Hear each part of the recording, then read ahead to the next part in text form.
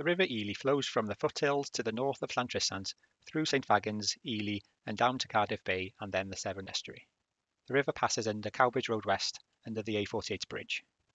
There's been a history of flooding in this area. In September 2008, some 27 properties were inundated. At its peak in 2008, river flows would fill an Olympic swimming pool every 20 seconds. More recently, properties flooded in 2011, 2012, and 2020.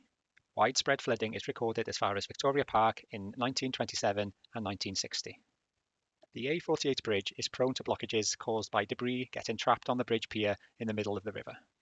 Blockages reduce the capacity of the bridge and significantly increase flood risk to properties and were contributors to the recent flooding.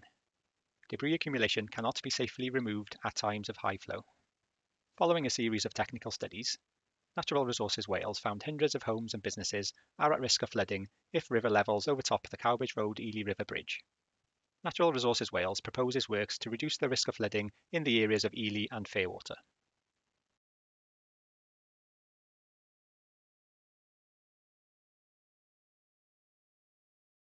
Our recent studies have shown that flood risk increases significantly when Cowbridge Road Bridge over the River Ely is partially blocked with debris, particularly trees and other large objects. Let's take a closer look. The bridge is particularly sensitive to blockages because of its skewed central pier and low clearance above the river. The photo here shows evidence of blockage at the bridge following the flooding in 2008. Blockages reduce the capacity of the bridge.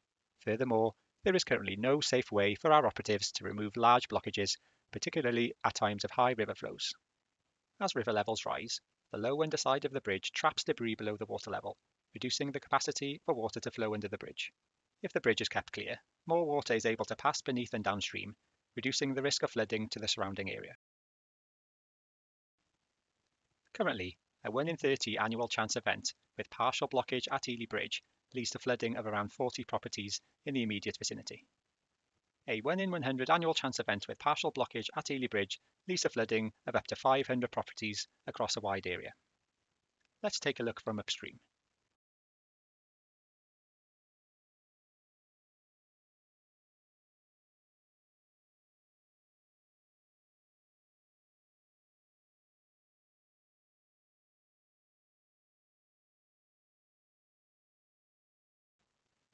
Since the flooding that occurred in 2008, Natural Resources Wales has undertaken several studies to comprehensively assess the case for flood risk management in the area.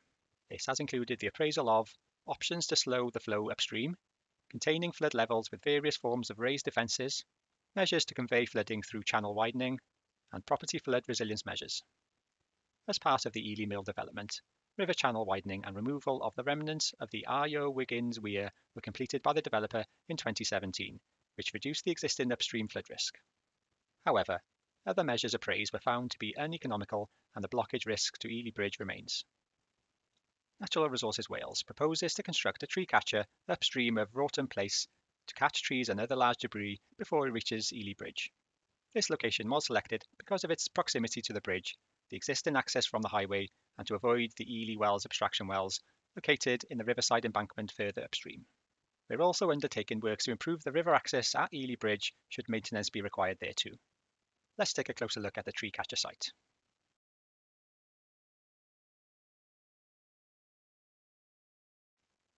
The proposal consists of seven poles in a staggered arrangement across the river, spaced widely to target large debris that would otherwise be trapped at the bridge. An access ramp and processing area will also be constructed to make it easier for our operatives to remove the blockages and get them up for disposal. The buildup of debris will be actively monitored using a CCTV camera. The site will be secured with fencing, and planting will screen the site from the adjacent foot and cycle path. During times of high river flow, large floating debris will be trapped by the poles. By trapping debris at a safe location upstream of Ely Bridge, the risk of flooding is reduced.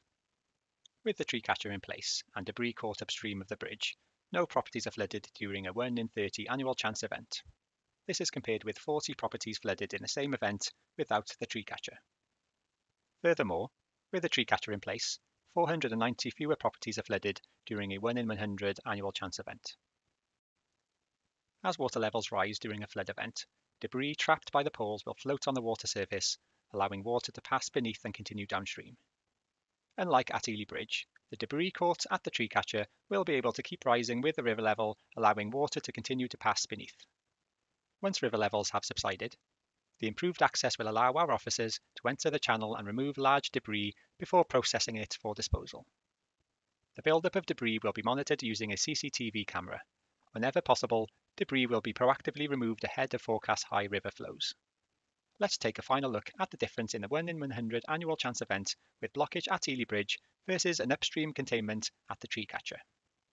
This is the existing situation with blockage at Ely Bridge. 495 properties are anticipated to experience flooding. This is the proposed scenario with the tree catcher. Five properties are anticipated to experience flooding, 490 fewer properties than at present. Thank you for watching. Feel free to get in touch with us via the project email address, through general inquiries or on social media.